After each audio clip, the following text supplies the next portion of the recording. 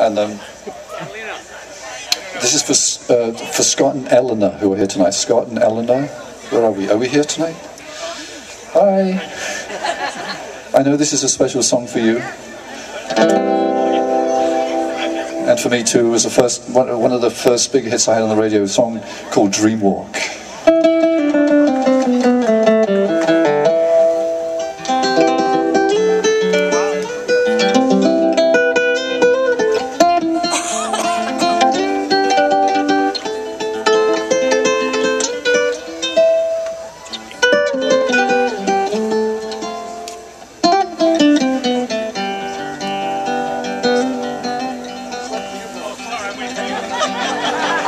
Just playing because the band is waiting for me and I'm waiting for them. So here we go, Dreamwalk.